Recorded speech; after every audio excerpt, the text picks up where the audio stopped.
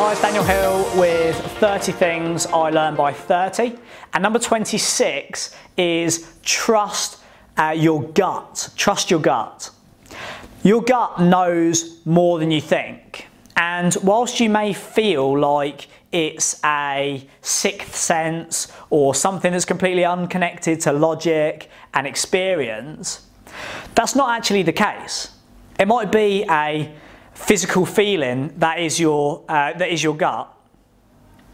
But it's made up of all of the experiences you've had today, the successes, the challenges, the lessons, and the learnings.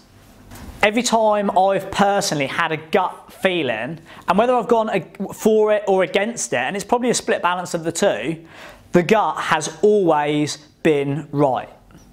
It's always more value in telling you about things that didn't work rather than potentially those that did to enable you to progress quicker. And to give you an example of when that didn't work for me, I remember doing a development a few years ago and I walked up the stairs. So it was a, we did a bit of an open house for main contractors to come in and tender for the work. So they're all running around the building with their schedule of works, uh, the scope, starting to cost things up, look at the construction drawings, those sort of things.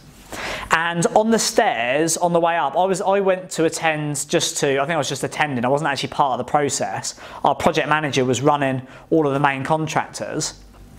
But I didn't actually speak to any of the main contractors on site, but I did pass one guy on the stairs and this was literally a five second meeting where I passed him on the stairs, having manners. I said, oh, hi, you know, welcome to site. Uh, great to see you. My name's uh, Daniel Hill, and he introduced himself as uh, whatever his name was and the company was from. I carried on walking up the stairs, and literally that was no more than a 10 second interaction. But my gut feeling was I, that guy is not going to win the contract. And it was a combination of loads of things. It was the way he spoke, it was what he was wearing, it was the. Uh, I remember he had a, uh, a bracelet on there was all of these little things that would have contributed to it. And I couldn't tell you what they were, but my gut instinct was saying we shouldn't give the work to this guy. He was one of probably four, five or six main contractors pitching for the work. The tendering process went through and sure enough, he was shortlisted as one of two main contractors to go with. The only difference between him and the other contractor was he was over uh, he was over fifty thousand pounds cheaper than the next main contractor. And obviously, despite my gut, that had a very real appeal. So we agreed to go with him. We went through the, the contract process. I had this gut feeling that it wasn't the right thing to do, but commercially on paper, everything stacked up. References, credit checks, um, uh, the, doing all the due diligence on their business. It all stacked up. My gut said no.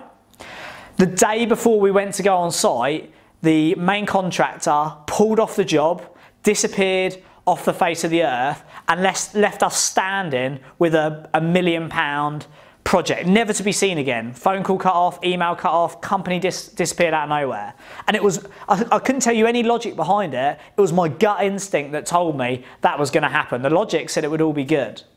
So I'd encourage you to consider that as you progress. Uh, so the, the next one is a trust your gut.